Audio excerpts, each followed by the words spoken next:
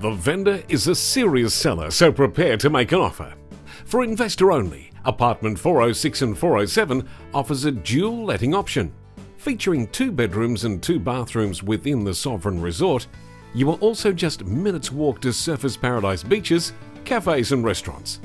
No, you are not dreaming and you won't see an opportunity like this again.